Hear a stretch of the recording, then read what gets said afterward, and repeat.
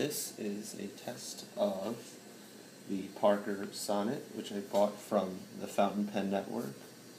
I mean, sorry, Fountain Pen Hospital. And as you guys can see,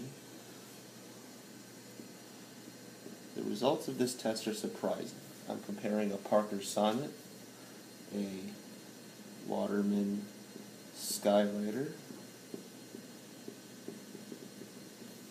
and a Jinhao X750.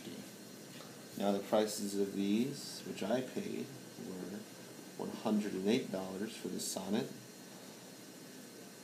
$14 for the Skywriter on eBay, and the Jinhao was probably around $8.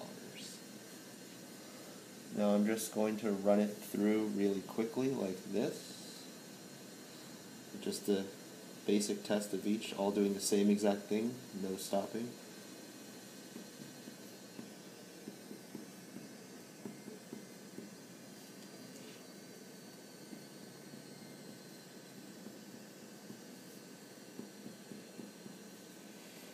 Now I'm going to do it through the racetrack. This really tests the pen's uh, variability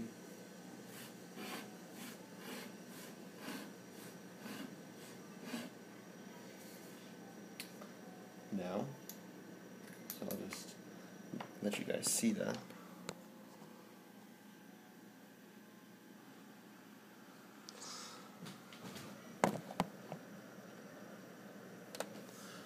Now the next I'm going to test is the Skywriter. This is Waterman's entry-level pen from uh, about the 50s, 40s maybe.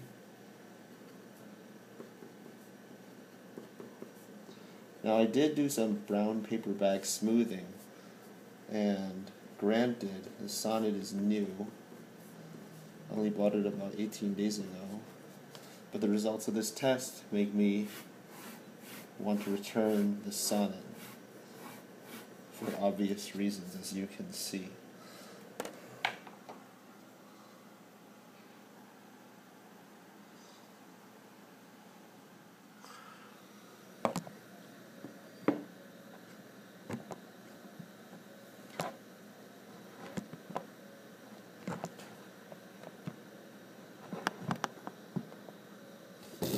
Make sure you guys can see that.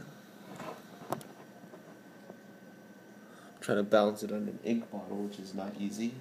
And now I'm going to test the Jinhao.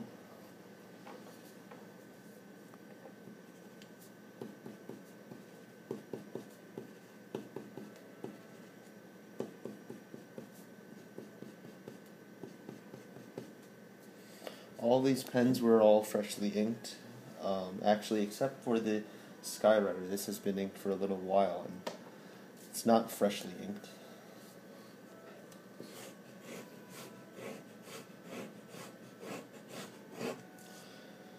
Now these Jinhaos, they seem to be alright, but the problem is they just don't really have a good upward type stroke as you guys can see.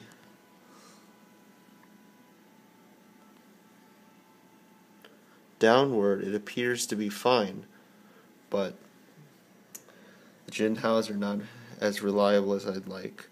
The pens are a good weight. They are generally nice looking, but the nibs are just, they don't match up. But what really surprises me is the fact that this was beaten by this, the Skywriter. If you look at the price, anyways, yes, I think I'm going to be returning this Sonnet. I don't want to do any smoothing or brown paper bag type things on it because I am returning it, so I'm not going to return it damaged. But yeah, I hope this helped us to see that price isn't everything.